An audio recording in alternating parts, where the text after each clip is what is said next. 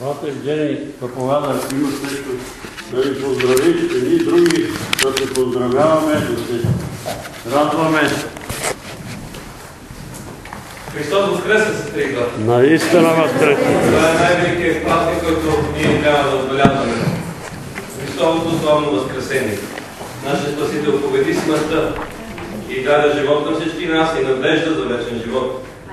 Благодарим на Господа за Неговата милост, наистина. За нас остава една заповед, която трябва да я приемем като заповед. Словото казва, радвайте се и пак ще каже, радвайте се. Така да послание към филипяни. Да се радваме за това, че имаме един Господ, който се грижи за нас на тази земя и преди всичко имаме в Него надеждата за спасение и за вечен живот. Нека Бог ви благослови.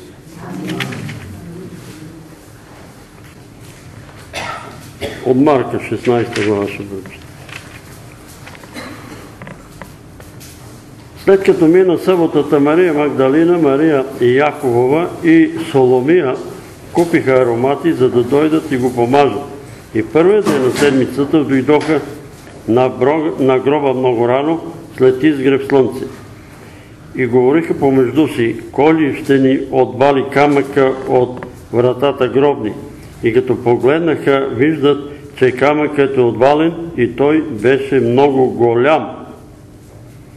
Като влязоха в гроба, видяха един момък, облечен в бяла дреха, да седи отдясно и много се оплашиха. И той им каза, не се плашете, вие търсите Исуса Назорееца, рацнатия.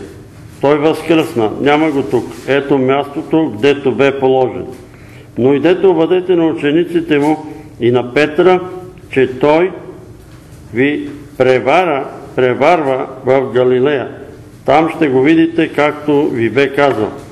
И като влязоха, излязоха скоро, побягнаха от гроба, та ги охвана трепет и ужас. И никому нищо не казаха, понеже се бояха. Възкръснал рано в първия ден на седмицата Исус се яви първо на Мария. Магдалина, от които бе изгонил седем бяса. Тя отиде, да обади на уния, които са били с него и които плачеха и ридаеха. Но те като чуха, че той е жив и че тя го видяла, не повярваха. След това се яви на друг образ на двама от тях по пътя, когато отиваха в село. И като се върнаха, обадиха на останалите, но и тям не повярваха. Най-сетне се ви на самите 11, които вечеряха и ги смъмра за неверието и жестокосърдечието им, че не повярваха на ония, които го бяха видяли възкръснал. И рече им, идете по цел свят и проповядвайте Евангелието на всички твари. Който повярва и се кръсти, ще бъде спасен, а който не повярва, ще бъде осъден. А повярвалите ще ги придружават тия личби. С името ми ще изгонват бесове, ще говорят на нови езици, ще хващат змии и ако изпият нещо смъртоносно, няма да им повреди. На болни ще възложат ръце и те ще бъдат здрави. И след разговора с тях Господ се възнесе на небето и седна отдясно на Бога.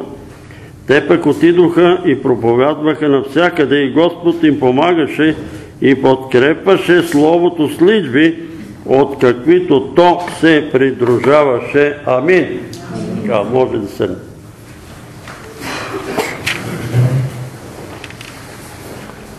Яви се на Мария Магдалина, от която изгони седем бяса.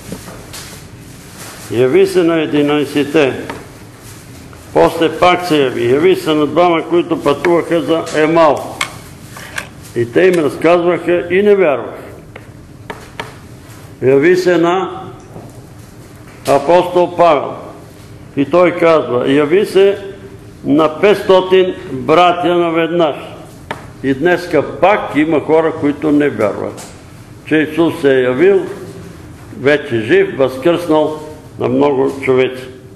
Ние обаче трябва да вярваме, че е възкръснал, защото без възкресението сме празни.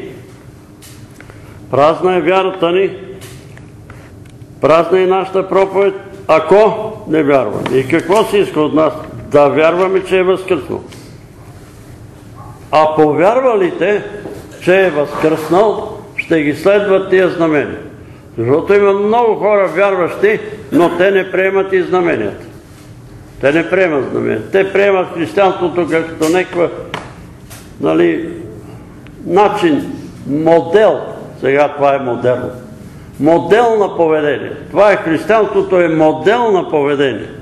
Нали?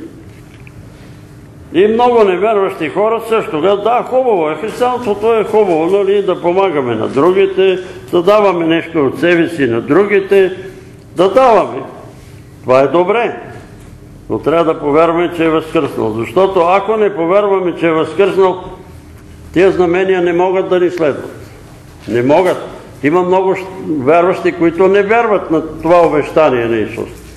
Че ще изгонват бесове, че бесовете се покоряват Божието име, че ще говорят на нови езици. Маса християни казват, това не може да бъде. Това е било за едно време. Но ето ние сега знаеме, че има много хора, а и самите ние говорим на нови езици. И кой не вярва в това, че сега Господ кръщава Святия Дух и хората вярват езици? Ами он който не говори езици. Кой не вярва на онова, че с Божието име бесовете се погоряват и казват, моля ти се, не ме мъчи в Исусовото име. Не ме мъчи, ние сме свидетели, нали? За тим, че ходи така по къщите, некъде. И тук са идвали хора, които сме се молили, отначало заплашват, лъжат, защото те са лъжци и не може да им вярваме. Но когато им кажеме, знаете, че име ви заповядваме, знаете, че това име Исус е възвисено над всяко име Вселената, покори се на това име, излез, моля ти се не ме мъчи. Защо? Защо? Защото знаят, че вече вярваме. Казвал съм един филм, гледах в Бургас, бе командирован, как американците гонат дяволите. И беше интересно за мене, че един католически свещеник отива там с един кръст срещу един овладан. В името на Исус излез. Обаче духа от него вик, да излеза, ама не вярваш. Да излеза, ама не вярваш. И той отиде в планината, поси молитва, поси молитва и после отида срещу него. А сега нали знае, че вярвам и той, а, не ме мъчи. Знае. Кой е повярвал? Бесовете знаят кой е повярвал и кой не е повярвал. нали, казвам и това, постоянно срещам християни, които не ги вярват тия. Това било за едно време. А езиците били за апостолите, и царена на болни били за едно време. А от всичко отгоре пък и Исус ни пращал болести, за да ни усъвършенства което е лъжа. Което е лъжа. Наистина Бог казва там апостол Павел, аз се припирах с норчето, тя е намерила един стих и Господ наказва, вика, Господ не ни наказва, бе, греха ни наказва. Не, пише, че Господ ни наказва. И като прочетах миналия път, 11 глава, първото послание към коринтаните, а Господ ни наказва, за да не бъдеме наказани заедно с света когато взимаме недостойна Господна вечер. Тогава Господ ни наказва, за да не бъдем тогава, но не ни разпределя болести, на тебе рак, на тебе диабет, на тебе такова нещо Исус не дава. А дава друго нещо. Дарбите и служенията на църквата. Той е дал дарбите, ние ще ги разглеждаме 12 глава от първото Коринтияните, като стигнем. Тия дарби ги е дал на църквата ги е дал. И той ги е дал на обикновени хора. Не ги е дал на някакви специалисти, както на мене мнозина ми казват. Какви видения там при вас? Видения. Това какви са тия Панчо и това, какви са тия пророци там? Какво им разрешаваш, вика да казват? Ама, мога ли да им забрана? Мога ли да им забрана? Ако имат някакво откровение. И ние виждаме, че има много често тия откровения, като кажат за някой, който се моли, той вика, вярно е. Вярно е това, което се казва от, от Святия Дух и от Святия Дух. За да може да се разкрие греха, за да може да стигне човека до покаяние, за да се смири, да се наведе. И аз съм свидетел на всичките тия неща. Не съм кой знае какъв вярващ, но съм свидетел. Бесовете се покоряват Божието име. Иван Томасян, как ти името? Легион, легион, в името на Исус, излез. О, не ме мъчи! Излез. Седна на стол. Брати и сестри, вие не знаете колко страшно е да ви мъчи демон.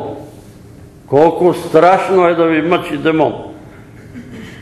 Свидетел съм на хора, които говорят езици, говорят неща, които нали, знам, бех свидетел на този еврейски равин. Аз го помня, когато замина за Израел и каза, ако ви каза много неща, всичко ще забравите. Но аз ще ви кажа само едно изречение. Винаги навсякъде с Господа вървете.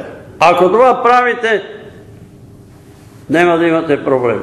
Господ ще бъде с вас, вие ще бъдете с Него. Ма как да отида да открадна и да кажа, Господи, аде с мене да ми помогнеш да открадна? Нали, няма да стане. Как да отида да прелюбодействам и да изневерявам там на жена си или мъжа си, айде Господи, бъди с мене. Ме няма да бъде. Той ще бъде, ама ще усуети греха. Ще усуети, няма да стане греха. А Господ иска да бъдем с Него и Той да бъде с нас. И как повярва Той е равин. Цонка, ти я помниш, сестра Цонка, пее някаква песен. И то отива про нея на език. Къде си учила този език? Ами, не съм го учила. Това е писано, ето в Марка, 16 глава, Господ казва, повярвалите ще говорят и ще пеят на други езици. Той език е мъртъв. Старохалдейски, вавилонски език, който го изучаваме само ние евреите, където като беха в робство, евреите са говорили там, халдейците, този език. Откъде го знаеш? Не го знам. Защо пее на този език? За да чуе равина, който само един единствен знае този език в църквата. Само той знае. И той повярва и отиде в Израел. И така, ще полагат ръце на болни и болните ще бъдат здрави. Видели са ни очите и царението на такива болни. Даже не да полагаме ръце. Отдалече се молиме. Ето казвам ви, онзи ден се обади една жена. Елата ми на гости, отиваме. Вика, аз съм петия прешнен. Ние се молихме за една жена в Сан-Франциско на 18 000 км и тя на другия ден казва, скочих, ставам, хода, карам си колата, дигам тежести, нямам проблеми. А след това мъже, преди това мъже е носил на ръце, не може да ходи. Господ изцелява болни. За едно време ли е било? За днеска е. Защо? Ама защото Исус е жив. Защото е възкръснал. И ние трябва да го повярваме това, защото ако не вярваме, че Исус е жив, а мислиме, че християнството е неква на учение начин, нели модел на поведение, с това, с този модел ще си отидеме от този свят. Няма да възкръснем заедно с Него. Ако го приемем, че Той е възкръснал, и ние ще възкръснем заедно с Него. Ще изпият нещо смъртоносно. Моите врагове знаят, че са ме поили с отрови, специални отрови, в които е имало там тежки метали, такива Нали, те беха два вида, нали, химически не мога да ви кажа сега. А, с метил са ме тровили, с други неща са ме тровили и ето стоя пред вас жив и здрав. А те се чудат как още не съм умрял.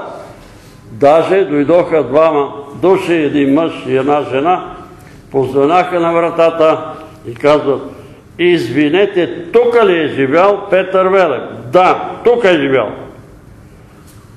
Еми, ние сме неговите, вика, наследници.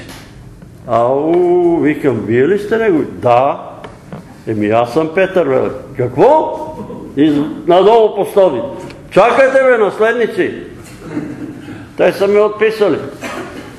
Ама, не е така. Хващал съм и змии, между другото, и сега хората викат, да, той е егоцентричен към себе си. Хващал съм и змии. Седа на поляната една змея да срещу мене, изправи се и ме гледа. Викам, какво сега? Какво искаш да ми кажеш? Не разбирам змийски език. Кажи какво искаш. Тя си стои права, стои там и гледа. Викам, нещо преча ли ти? Станах, аз съм седнал на дупката и там. Жък! Скри се. Не ме охапа, а ловил съм и в ръцете си ми и съм ги фърлял. Нема да ви охапат. Защо? Ма защото Господ ни пази, защото Той е обещал тия обещания и чуйте Неговото обещание, защото има спорове. Ама Бог е много милостив. Ама Бог е милостив е за уния, които повярват. Който повярва и се кръсти, ще бъде спасен. Който не повярва, ще бъде отсъден. Това е положение. И сега ми се обаждат по телефона, брат Петре, а може ли да се молиме за моите роднини, защото те беха атеисти, комунисти и не повярвах и така отидат. Викам, молете се, няма проблеми. Колко искате се молете. Ама е това си изпълни. Ако те са хулили Бога, ако те не са, какво да правим? И мои роднини. И мои роднини. И мои роднини. Ние може да се молиме. И трябва да се молим. Защото има отношения, които те са имали към нас. Ние тия неща трябва да им простим. Ама оставете мъртвите те да се, занимават своите мъртвци. Не е така. Ако тия мои роднини са ме одумвали, защото аз знам, че в цялото село хората са ме одумвали. Те читат, че аз съм ненормален. Нали? Така мислят. Нещо не е вред този човек. Той не е добре, говори за Господ. И когато някой човек си премине, аз спирам да копам градината, заставам и казвам, Господи, каквото той е човек изговорил срещу мене и е съгрешил, от сърце му прощавам, моля ти ти да му простиш. И усещам сила и помазание върху мен. Аз му прощавам и Бог да му прости. И отношенията ни с умрелите се оправят. И ние сме и с мъртви, и с живи трябва да бъдем в изправни отношения. А не да ги клеветиме, хулим или да кажем, бе, то се подиграва с мене, ама ето какво стана с него. Заби земята. Защото всички ще си отидем от тая земя. И така, повярвайте, че Исус е възкръснал. Може вие да не сте го видели, дай Боже и да го видите, но аз съм го видял. Аз съм го видял. И вярвам. Но при мене аз съм без оправдание, защото това не е вяра, а това вече е знание. Когато го видиш, ти вече знаеш. Знаеш, че Исус е жив. Макар, че хората не си го видял. Видял си видение. Не знам дали е видение. Само, че на едно место намерих това, което аз видях, Исус стои прав, отдясно на Бог Отец, изправен. И в Деяние на апостолите намерих там, че дякон Стефан каза, ето виждам Исус да стои, не да седи, да стои отдясно на сила. Така и аз го видях отдясно на сила. Така че вярвайте и никак, ма никак не се съмнявайте, че Исус е жив. А след разговора с тя, Господ се възнесе на небето и седна отдясно на Бога. Но аз знам, че Той понекога стои отдясно на Бога и ходатайства за нас. И казва, ето го, Той е дявола ни обвинява, ето Той е такъв, такъв, такъв. Но днеска ме попита, Йонка ме попита, защо само Исус ходатайства. Ами защото Исус е платил за цената ми. Затова ходатайства. И когато Сатана ме обвинява, той казва, отче, ето, аз платих за това Петър Велев. Той се спана нещо там, падна, но аз платих. И дявола трябва да мълчи. Ако вярваме и ако го изповядаме, но ако говориме, че това е легенда, това е измислица, няма да ходатайства. Няма да Защо? Защото е казал, който се засрами да изповяда името ми пред този извратен и прелюбоден свят, да изповяда името ми. И аз ще се засрама да изповядам името му пред Отца и пред Неговите ангели. И когато ние имаме някакъв проблем, но изповядваме името Христово, Той е готов да ни защити. Е тук на това место седеше един много възрастен брат преди доста години, в началото, когато преди десетина и повече години, и той стана в едно събрание и казва, когато безчестят вашата майка, вие скачате да се биете. Когато безчестят моята майка, вие мълчите. Когато ме безчестят мен, вие мълчите. Станете и кажете една дума в защита на името ми и защита на майка ми и ще видите какво ще ми се случи на противниците. Ама трябва да станете и да кажете, Бог поругаем не бива, ей човече. Бог поругаем е достатъчно. Достатъчно е да го кажете. И тогава ще видите. И какво правеха след възкресението неговите ученици? Отиваха и проповядваха навсякъде и Господ им помагаше и подкрепеше Словото с литви от каквито то се придружаваше. Ние тук обръщаме нещата на опек. Ние искаме първо личбите и знаменията, та после да отидеме да проповядваме. А Господ иска да отидеме да проповядваме и тогава ще има личби и знамения. Първо трябва да отидеме на хората, да им кажем, да ги поканим и да говорим с тях. Може да не вярват, може да не ни повярват, може да се съпротивляват. Но семето се сее след време, то ще поникне в душичките им, ще поникне и нещата ще се променят и това слово ще почне да действа. Тогава, когато ние говориме, когато сееме това слово душите на хората, да повярват.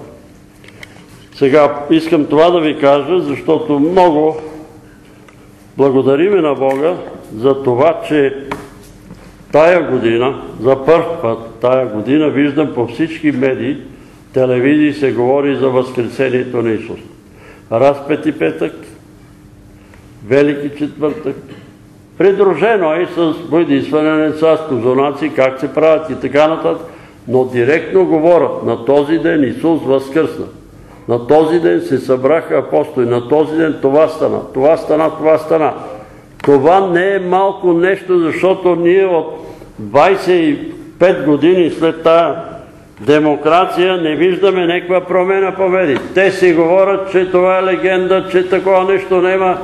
И сега пред цялото време имаше такива филми. Исус от Назарет, Спасителя, апостол Петър, други филми пред цялото време, които хората и това е некакъв нов тласък на благовестието в България, защото видяха, че румънците ни изпреварват, защото в Румъния отдавна се прави това нещо, в Румъния отдавна има вероучение, а тук ни предлагат неко вероучение, децата да рисуват и да попълват некакви, нали, там с буички, нали, някакви икони там да попълват. Това не е вероучение.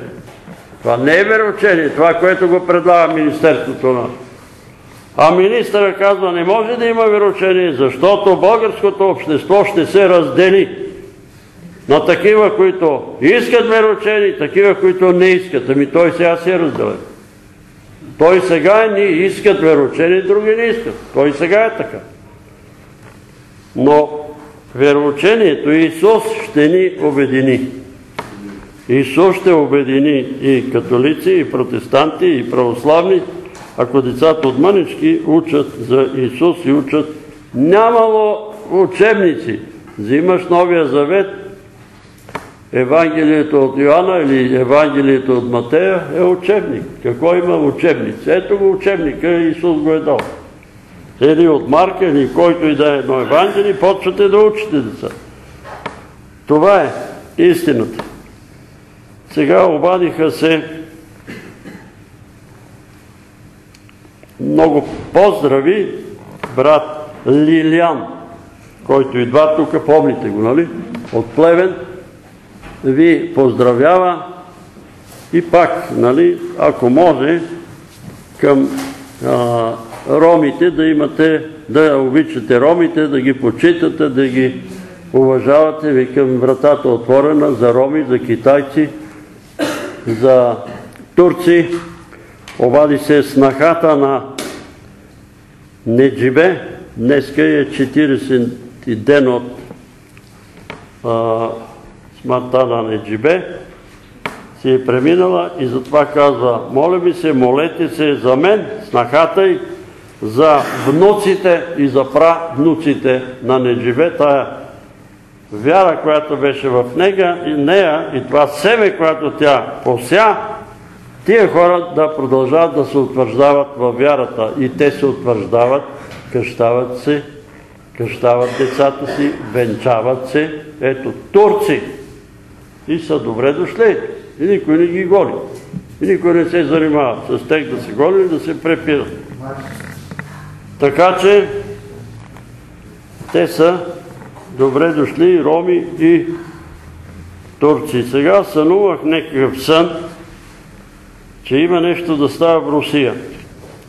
И тук един брат ми даде някакво откровение, че има да става нещо страшно в Русия. И вие знаете, че преди около 30 години аз бех предупреден, молете се за Русия и за Украина. Една огромна армия, която идва от юг и след това се обърна на изток, така че това, което аз чух тогава беше, Русия ще има много грижи от изток. От изток това са там все мюсулмански племена, мюсулмански такива държави и ние трябва да се молиме за Русия и за Украина, Господ да не допусне да се избиват, да загинат много човеци. Не сме, ли пак ми казвам, аз не съм русофил да заставам на страната на Русия против Украина. Няма такова нещо, изобщо не ме интересува. Дали са украинци, дали са руснаци, там е наши братя имат. Но, казвам да чуят и руснаците, Избити са 60 милиона души. Кръвта на тия 60 милиона души вика за отмъщение пред Бог. Не може. Какво трябва да стане тая Русия? Трябва да се покая. Трябва да се промени. Защото иначе ще плати за тия 60 милиона, за кръвта им. Викат за отмъщение. И са избити не само в Русия, но са избити и в Чечения, в Грузия, Армения, в Украина, къде е Беларус и другите, в Латвия, Литва, Естония. Там са избивани хора, които не са съгласни с партията и с комунизъм. И на тия хора кръвта им вика за отмъщение. И защо да загинат толкова човеци? Чух само некаква дума, че някой говори на Путин и му казва, Путин, какво си въобразяваш? Какво си въобразяваш? Какво е той като човек? Един човек носи една душа, като го духне Господ и го нема. Който ще да е. Какво беше? Какво си въобразяваше Сталин? Какво си въобразяваше Хитлер? Наполеон, какво си въобразяваше? Духна ги Господ и ги нема. Толкова. Ще се молиме за Русия, ще се молиме за внуците на Неджибе, ще се молиме за брат Лилян и неговите там братя и сестри в Плевен, за братята и сестрите в Русе. Ние знаеме за това. Там има един свещеник в Русе, който кани на Възкресение Христово, на Рождество Христово, специално на Възкресение Христово през нощта, католици, православни и протестанти от църквите да излезат на площада и всички заедно да викат към Бога за спасение и благословение на Русе и благословение на страната ни. Нека ние да имаме това желание за мир с всички, които изповядат нашия Господ и вярват в Неговото възкресение. Да се молиме сега, кажете и вашите проблеми и вашите нужди. Кажи, Стайко. Първо искам да благодаря на Бога, че нашите молитви са чути, защото брат му на Самуел е ходил с жена си там и децата, пренощували са там в това село и на другия ден се разговаряли надълго и на широко. И накратко това, което трябва да кажа, че той вече няма такова силно желание да бъде там и иска да се върне тук в София при брат си. Защото брат му живее тук в София. И да продължим да се молим, действително това да стане, да дойде тук, ще се постараем да му намерим работа, да може той тук да се чувства пълноценен, да не е зависим от никого. Категоричен бил, че във Варна не иска да ходи. Сега, защо е така, не знам. Там има къде да живее, има си родителите са му там. Само сестра ми сега била там в Англия, гледала някакви деца, нещо, второ, но той може да бъде спокойно във Варна, но не иска там. Това, че иска да бъде тук не е лошо, ще бъде при брат. Въпросът е да не стане така, че рогатия пат да го подхлъзне по един на кора и да залитне на някъде. Да продължим да се молим, докато това се изпълни и вече ще имаме грижата тук да. Добре, продължаваме за Самуел да се молиме. Обади се един брат Давид, той идваше тук при нас, сега е в Ирландия. Сега ще гласуват в Ирландия закона за узаконяване на еднополовите бракове. И казва, ако това стане тук, аз съм, той е студент там пета година, викам, да, се връщам ли? А викам, остани си там, бе, завърши си висшето образование и се връщай тогава. И тогава се връщай. Това може да дойде и тук, да се гласуват такива нечестиви закони. Може да дойде, нали, узаконяване на еднополови бракове. Какво е това? лошото е, че искат Содом да и се признае Гомор. трети пол. Трети пол искат да признаят. Трети пол. Абе, Панчо, Транссексуален пол. Манчо, те можеш да ще ги признае Господ, като ги зашамароса. Содом! Това правя. Содом и Гомор. Да се молим на нашите управници Господ да им даде мъдрост да не вършат такива безобразия. Едно нещо за Путин си спомням, за което го поздравявах, че когато исках да правят Москва гей парад, той каза никакъв гей парад. Такива гносоти тук Москва няма да ви, разрешим. Затова получава поздравление. Но тук в София се разсождат гейове. Гей парад. Добре, казвайте вие вашите нужди. Ако имате, а повече да славиме Бога. Кажи, брат Тодор. Предлагам за сестра ми да се молиме. Утре влиза на операция. Операция, сестрата. За пердено очите. Нали, Бог да помогне. Добре. За Димитър и Иван. Други? Не. А, Те са много, обаче те са много. Да ви прости греховете и да ви освободи от всякакви грехи. Ама още ли не ти е простил греховете, брат? Той непрекъснато пише, ние, братя, много неща грешим. А, да, да, така е. Как пише?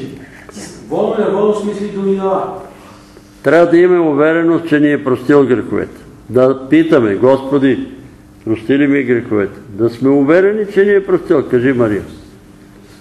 Аз имам няколко нужди. Едната от Чакай, е- Панчо. Едната от тях е патриарха иска да се въведе вероучение и тия хора не се трябва на интерес на нашите управляващи, а нека взема да го въведат и то задължително. Задължително, ако искат наистина лицата да бъдат както трябва. Ами много хора се изказват по този въпрос, но дано. Ама не може, аз ви казвам, че Министерство на просветата са антихристи. Ми Бог да ги измете от Те продължават там да правят книги, децата да учат, че човек е произвел от маймуната. Какво е това? Това цел свет го отрече, те продължават да се инатат. А, друго, за Неда от Търговище, те с- предложиха на лекът за мъже ми беше добре, сега така се поправя той по-добре, но тя е с диабет и предложих да се молим и за нея. Ама и диабета е сериозна работа. Трябва гонене на този демон на диабет. Трябва, ама далече сме много, да, къде Еми, и. Ще се молиме, но Господ да направи така, че нещо да с- дрекали да пратят, да се молим. Така. Добре. Ще правим това. И трето, за Радослав.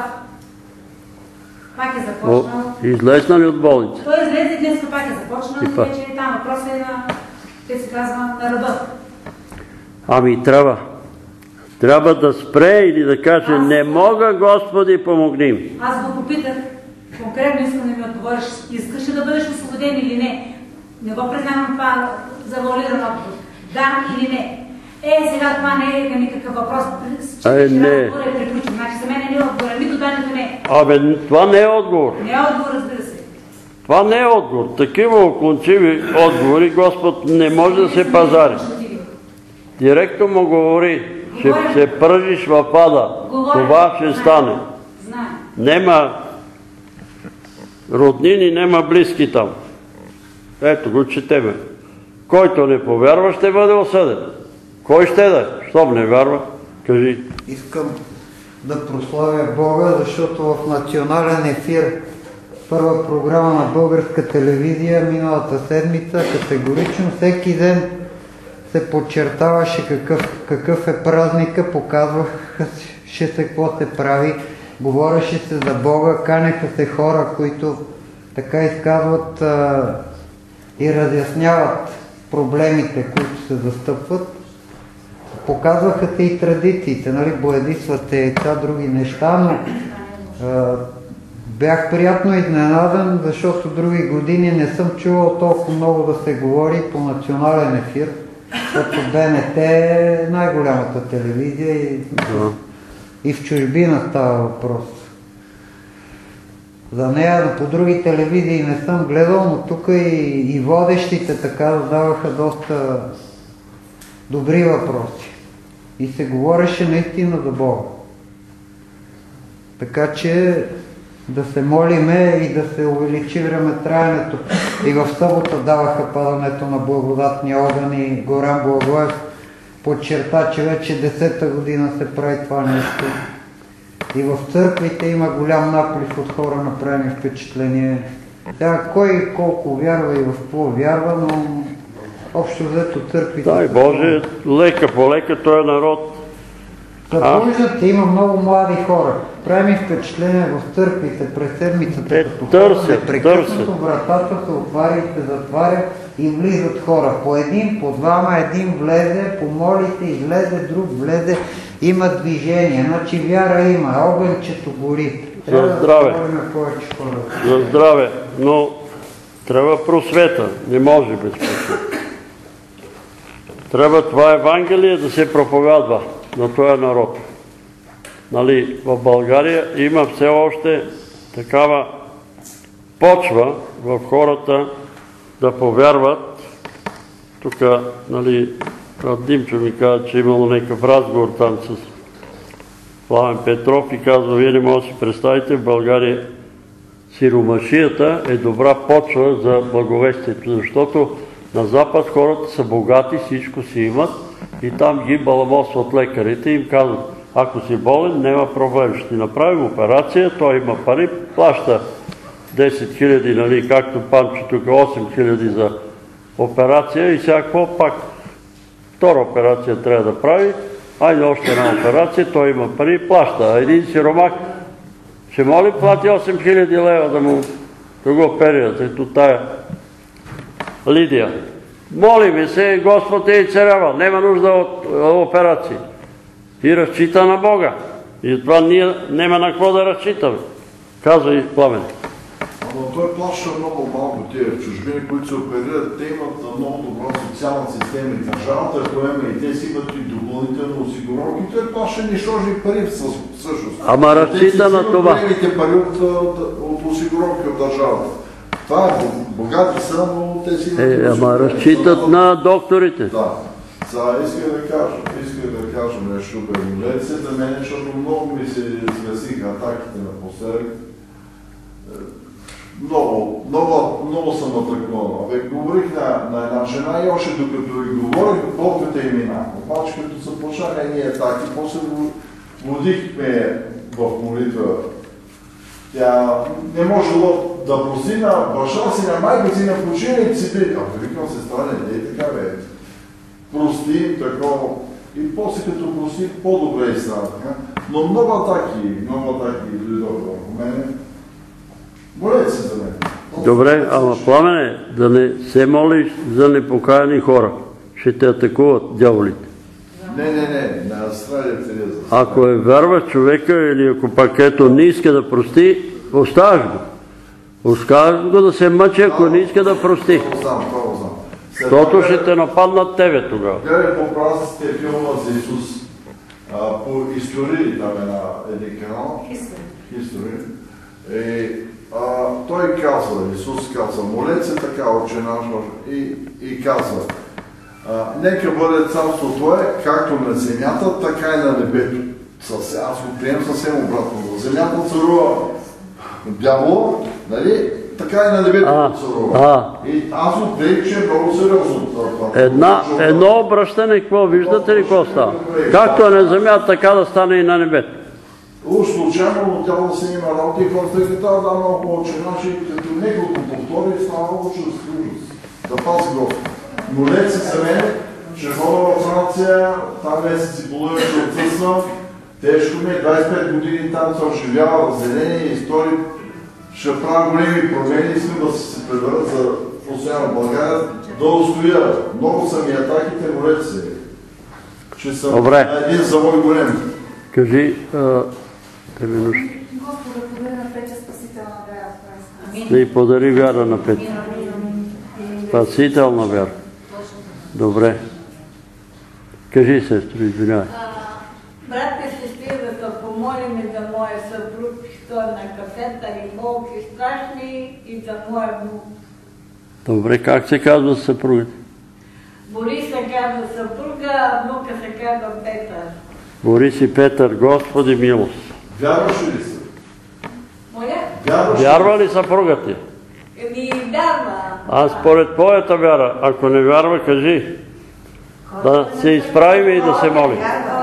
Вярва. Вярва. Значи е хубаво и да се посети, хубаво и да се посети от брати и да се помолят за него. Да. За помазание също, духовните пазители, тези, които имат право да го помажат, хубаво да се вземе причастие, да се изповяда, е хубаво много неща могат да се направят. Що вярва добре?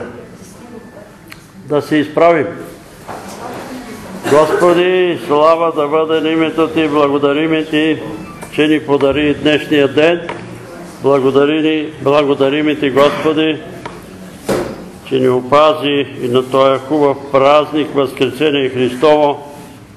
Благодарим и Ти за това, че виждаме народът се пробужда. Благодарим и Ти, че даде възможност и по медиите да се проповядва.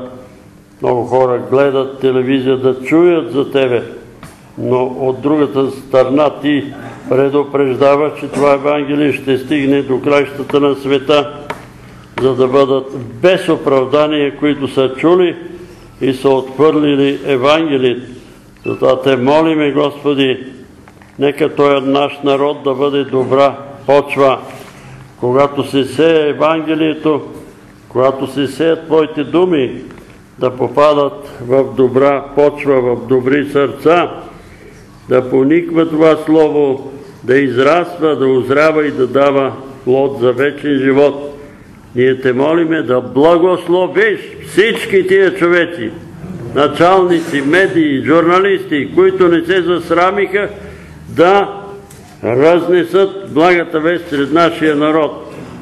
Управници, които разрешиха да се говори за Възкресение, да се говори за Исус, че е възкръснал, да се говори Евангелието, да се цитира Евангелието. Молим те за всички, които разнасят нови завети, Библии сред този народ.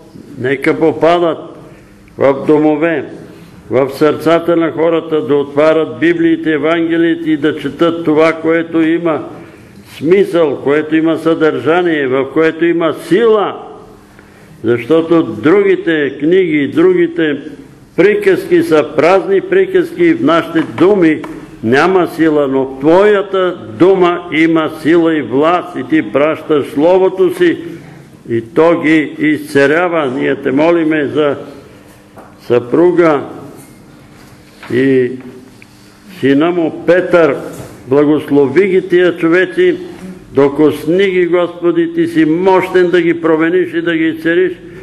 Молиме Те, Господи, за племенника на Стайко, Самуел, помогни му да се опомни, да се свести, да се върне в България, за да се опази душата му. Ние те молим и за Давид в Ирландия.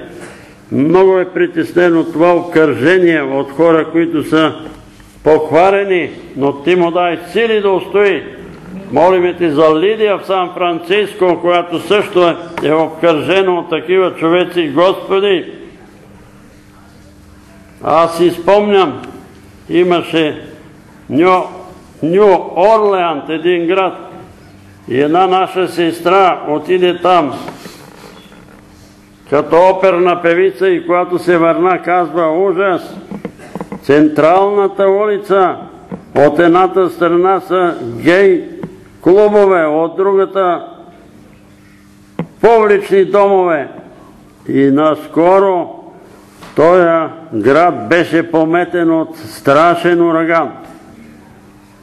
И човеците казват, защо загиват невинни хора, а не знаят колко са невинни.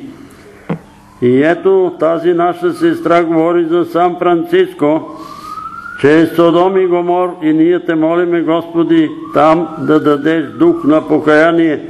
Ако има българи, запази ги и помогни им да се опомнат, да се свестат. Господи, молиме Те за проблемите и нуждите на брат Христо, разреши проблемите му. Молиме Те за сестра Йонка, развържи я, освободи от този унил дух, от това отчаяние, което е нападнало.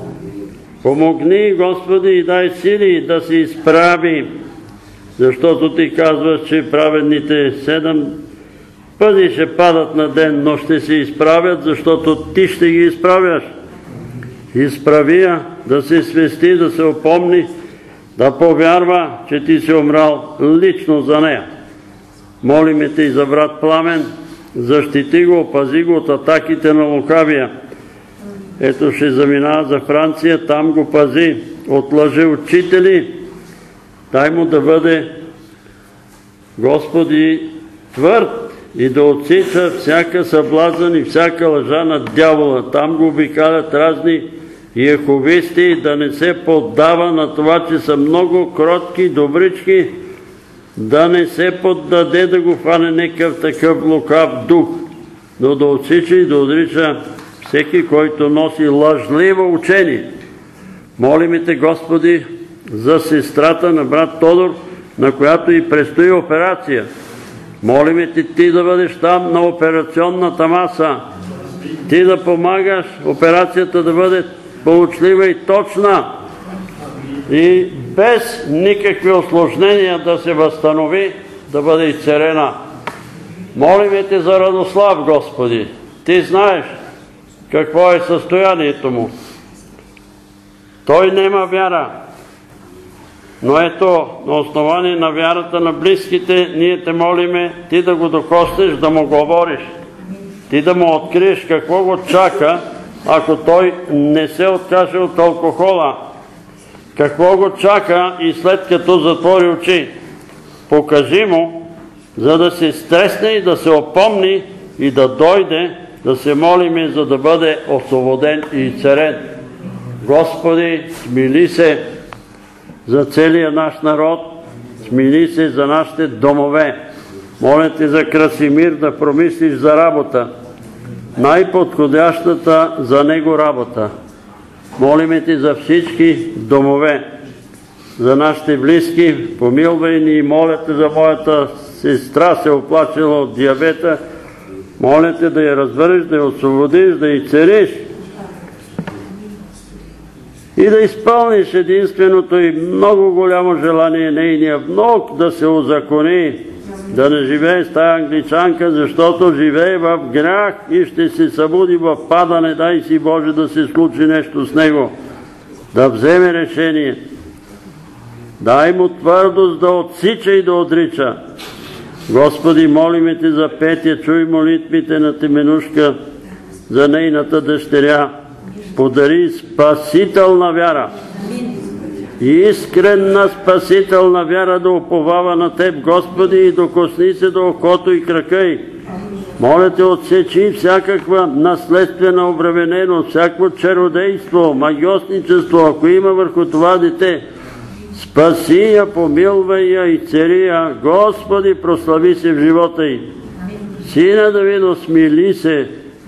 Молиме ти за сестра Поли. И вчера Елия ме помоли да се молим и за сестра Елия, за щитовидните жлези. Изцерите я, наши сестри за Симеонка и други сестри, изцели ги. Господи, има неколко сестри, които са бременни, ние те молиме да ги опазиш, да опазиш дечицата в отробите им и да родат здрави и силни дечица.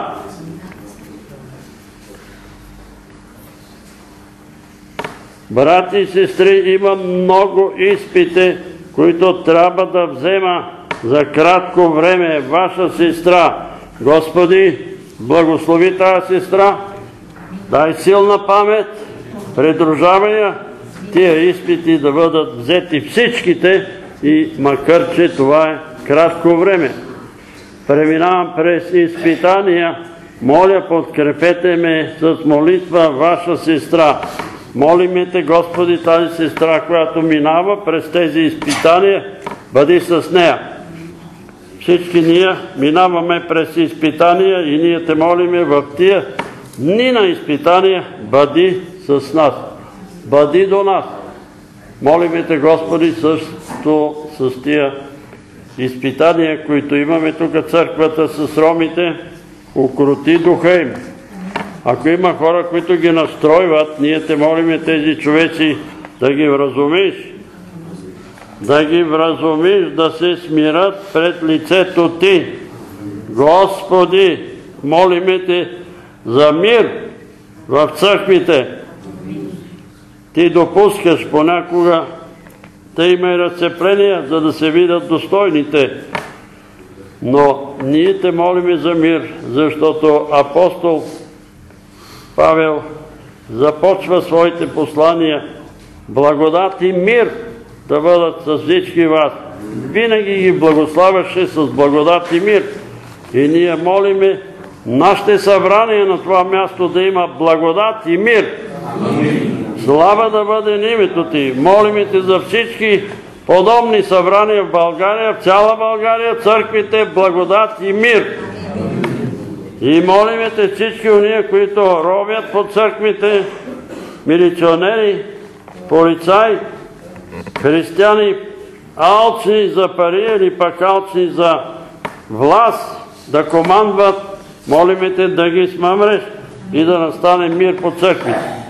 Господи, помилвай ни и опази ни от тия, които управляват вероисповеданията и насаждат различни настроения по църквите, да не се поддаваме на въдицата им, но да пазиме мира и спокойствието в църквите.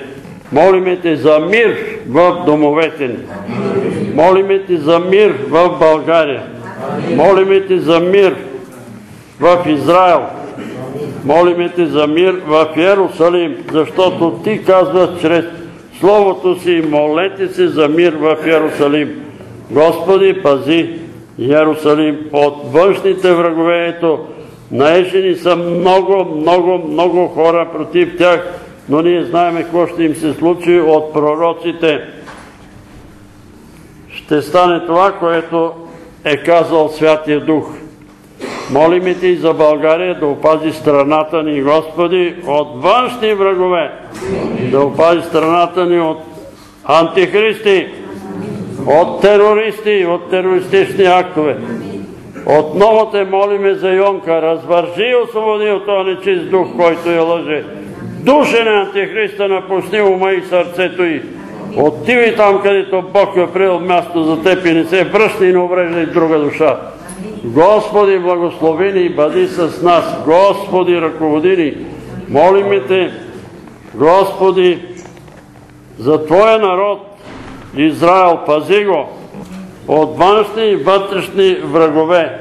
разкривай плановете на дявола и на човеците, които правят планове да взривяват автобуси, да взривяват Господи превозни средства и да избиват невинни жени и деца.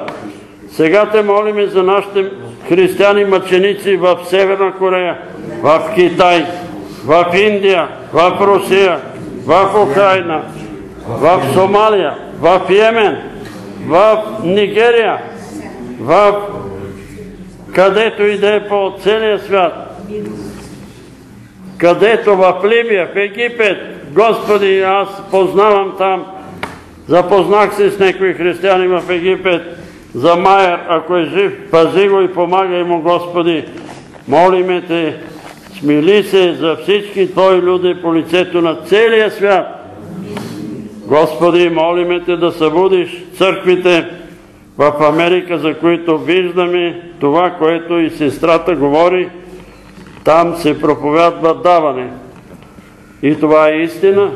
То е Твое Слово. Бъдете щедри и Господ щедро ще ви благослови. Давайте и ще ви се даде. И те на това се набляга. И те са богати и ти им даваш и им даваш. Но те молиме, Господи, събуди ги. Събуди ги с многото си богатства, да не им се случи като на Лаодикия.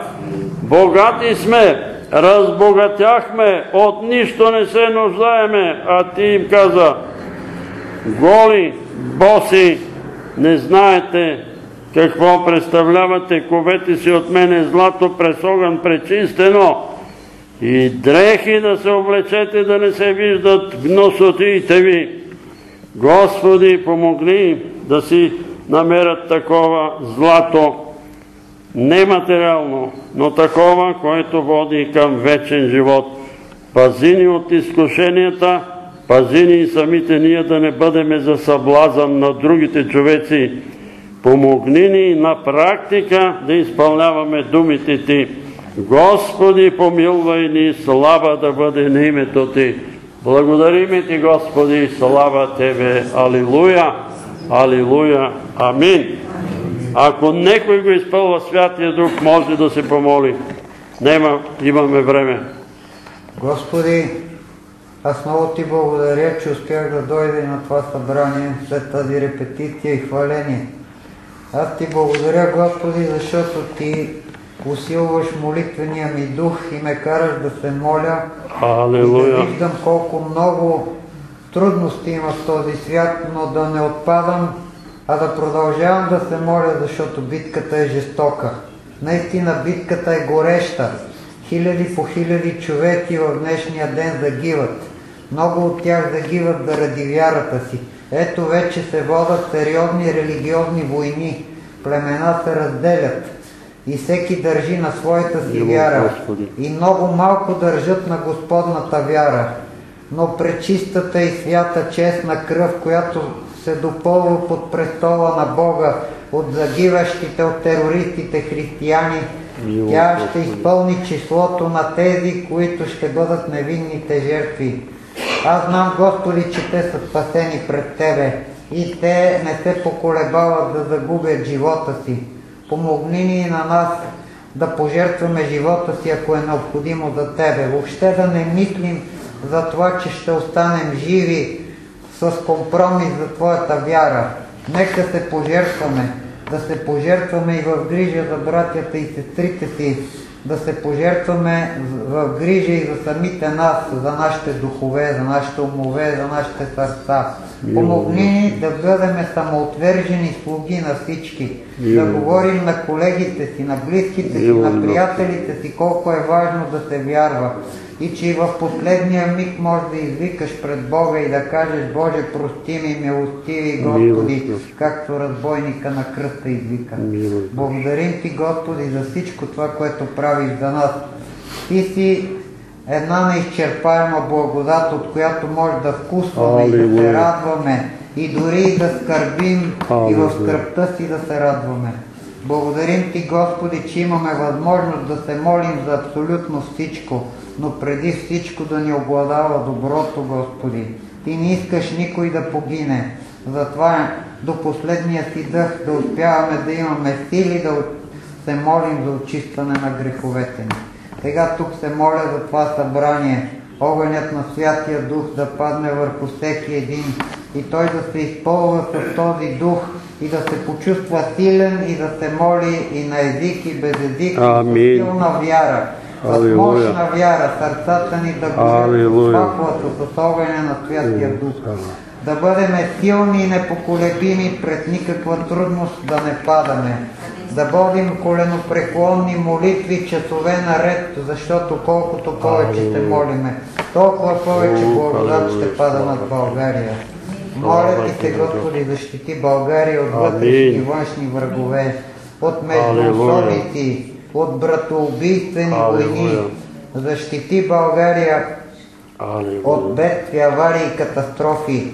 Обърни народа и повече и повече млади хора да влизат в църквите, да се кръщават, да се венчават, да има много новородени християни, да се въздигат повече и повече хора, да не, да не изчезне българската нация, но преди всичко да се разгаря християнската вяра. Амин. Господи, от сърцете моля да има вероучение, не само в училищата, но и в детските градини, Разуми ги тия управници ваши. И да има християнски канал, който 24 часа да се говори за Господа. Дай небесна телевизия, Господи, но преди всичко помага и на хората да сключат истински мирен договор с Тебе.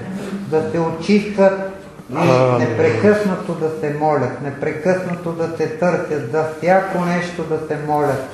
И ти благодаря за това, че ти откликваш. Ти 24 часа си готов да ни служиш. Благодарим ти за това. И за тези болни, за които се помолихме. Господи, усили вярата им. Дай им надежда, че Амин. да бъдат изцерени и в този миг да станат от и да призоват с хваление Твоето име Амин. при... направи така, защото сърцата им да бъдат изпълнени с любов към Теб и към братята и сестрите си.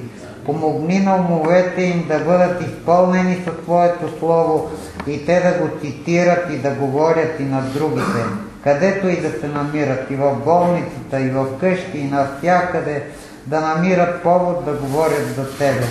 И ако някой бъде оскърбен, той да не се огорчава, Амин. но още по-силно да вярва и да се търси и да говори за Теб. Нека да изпитаме истинската сила на вярата. Нека да изпитаме истинската любов и надежда. За всичко това, което изреках сега, аз вярвам, че то ще се случи и съм ти безкрайно благодарен, че мога да общувам с моите братя и сестри. Безкрайно съм ти благодарен, Господи. че си ме намерил за вярата и че ако не бях с Тебе, Господи, не знам какво щеше да се случи. Нека всеки един брат и сестра бъде насърчен и благословен и да си отиде с радост в къщи и да общува с радост със своите близки и роднини. Амин. Амин. Ако има някакво откровение, да бъде изповядано.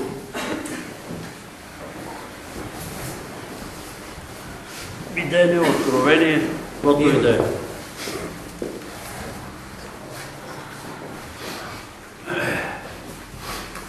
Съпруга, къде отиде сестра? Христо. Тези двете бяха Те излезнаха, Борис и Петър. Тихо, брат Панчо. Значи за съпруга и за Петър виждам едно такова фенерче. Е такова.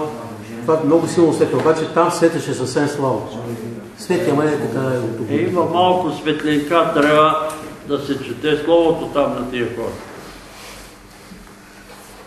Сестра Йонка, един голем самосвал, не мога да видя руски ли е, германски ли е, се дига и се разтоварва нещо като... Голем товар се разтоварва от Йонка. Тя си знае какъв товар. Но, вчера като се молихте, молихме за теб, аз виждам един самолет лети надолу. Също както го дава коня, дето се ударил в Алпите. Това е молитвата ти за земята. Молитвата трябва да гледаш горе на небето. Ако се молиш за земни работи, при това състояние няма да ти чуе Господ. Първо Божието царство и неговата правда, после другото се нарежда. За брат Тодор, за сестра му, виждам му брат Тодор така, отворил някаква папка така, ама не мога да я какво чете. Като папка, като... Изследванията.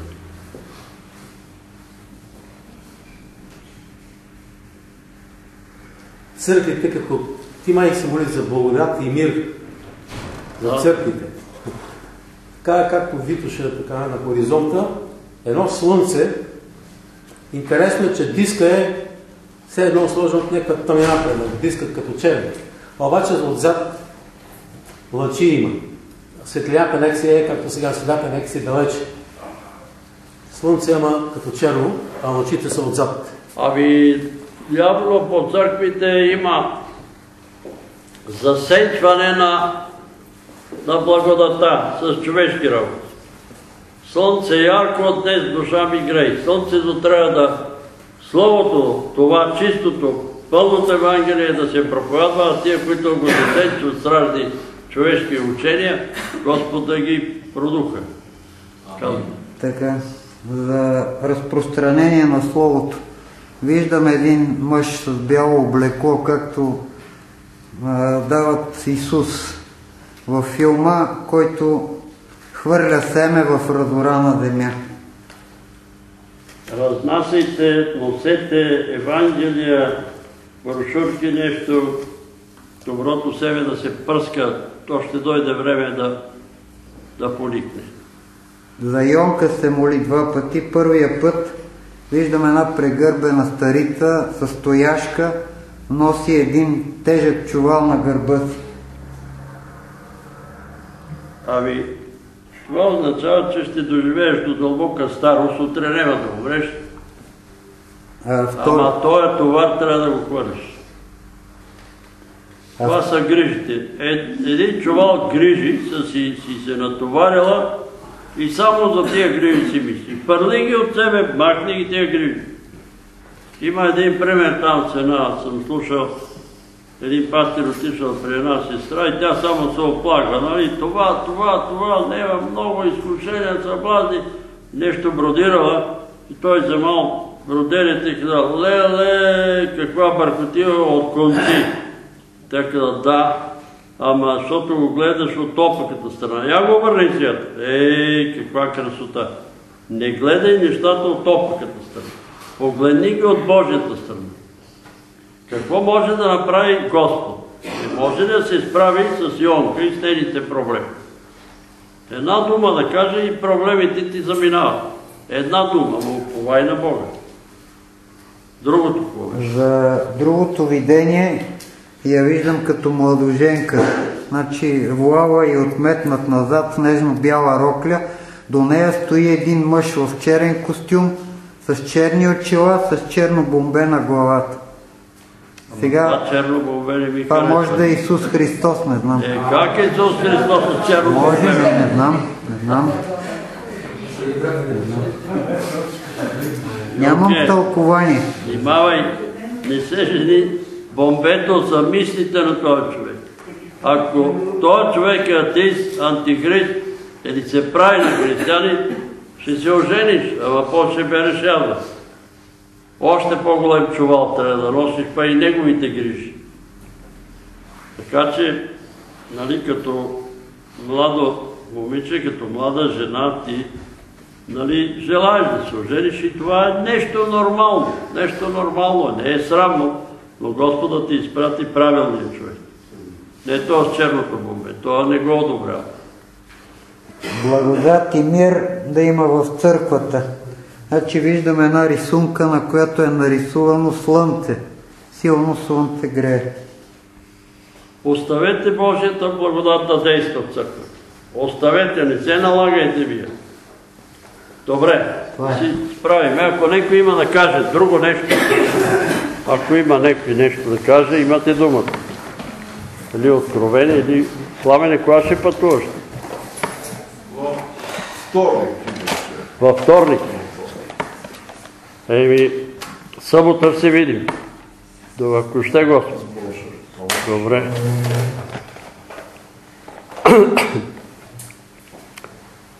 И сега благодата на нашия Господ Исус Христос, любовта на Бога Отца, общението и ръководството на Святия Божий Дух да бъде с всички нас, Амин. с домовете ни, Алелуя. с родовете ни, Исуса. с всички Божии чада в този град и в цялата ни страна и в целия свят, от сега и до века. Амин.